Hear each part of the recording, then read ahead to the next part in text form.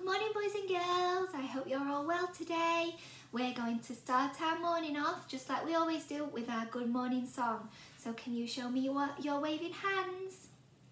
Good morning, good morning, good morning to you. Good morning dear friends and how do you do? Well done everyone. Now can we put our hands together for our class prayer? Thank you for the world so sweet. Thank you for the food we eat. Thank you for the birds that sing. Thank you, God, for everything. Amen. Fantastic, boys and girls. Right, yesterday it was Thursday. Thursday. Let me get my star. Today it is Friday. Friday. Put my star in there.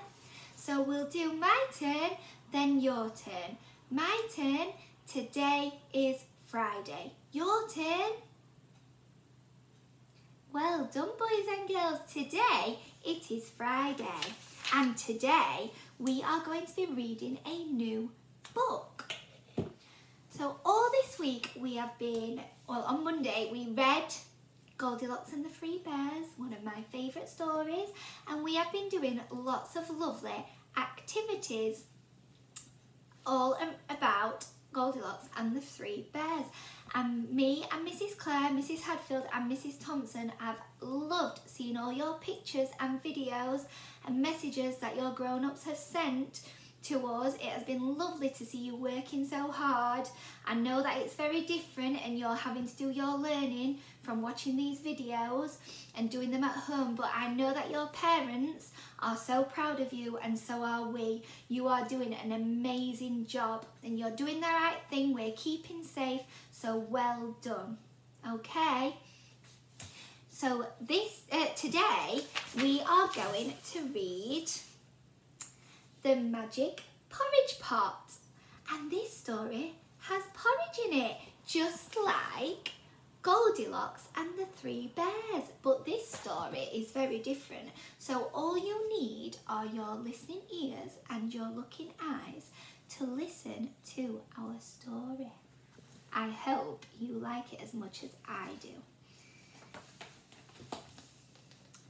Hannah had little money and even less food. But whatever she had, she always shared. One day, Hannah was out for a walk when she saw some bees. Aha, she thought, bees mean honey. As Hannah ate the honey, an old woman hobbled up swinging an empty pot. Would you like some honey? asked Hannah. Oh, yes, please, said the woman. It will go perfectly with my porridge. Porridge? What porridge? said Hannah. The woman smiled. Watch, she said. Cook, pot, cook. With a sizzle of magic, steaming porridge filled the pot. Stop, pot, stop. Then just as quickly, it stopped.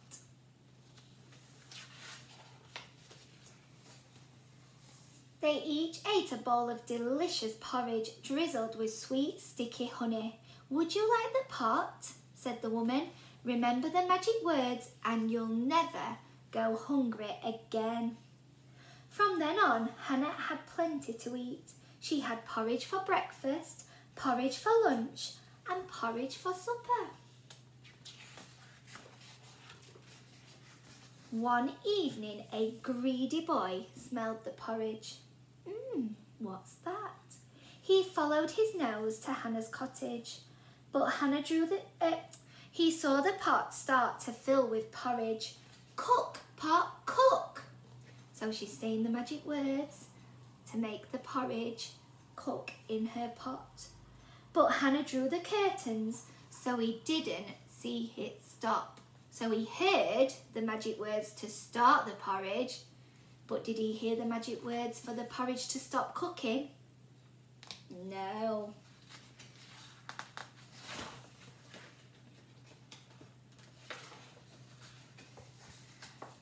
The boy waited for Hannah to go to bed.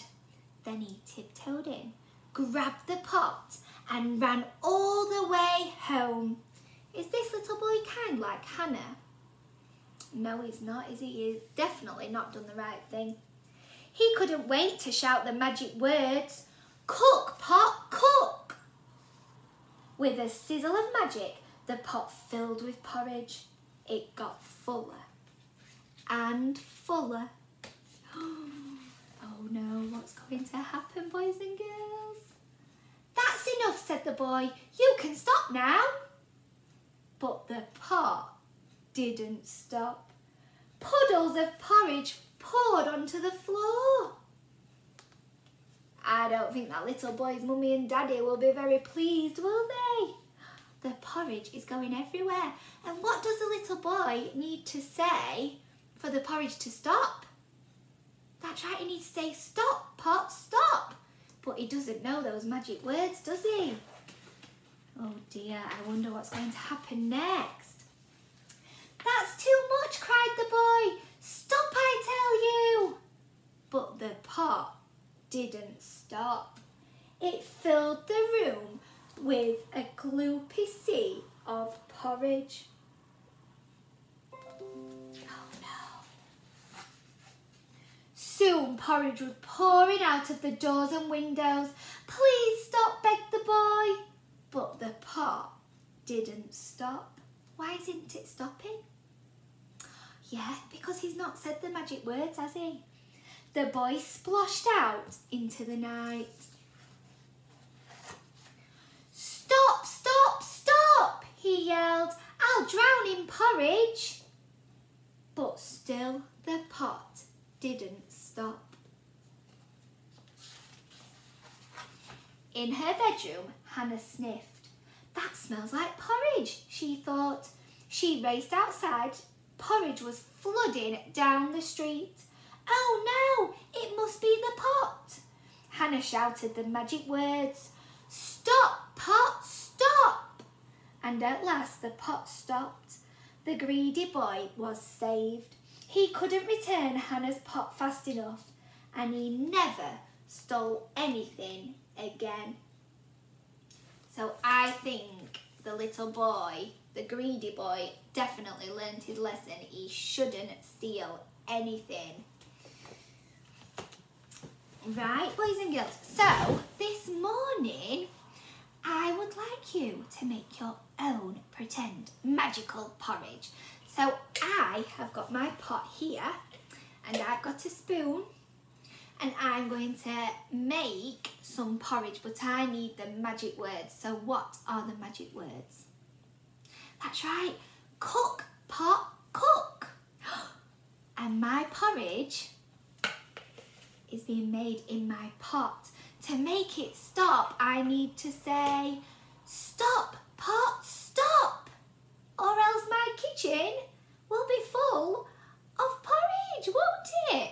So, your magic porridge is going to be a little bit different to the porridge in the book, okay? Our porridge, boys and girls, is going to make us have superpowers. So what superpower would your porridge give you? I'm going to have a think, and I think I would like to be able to fly. I would love to have the superpower to be able to fly.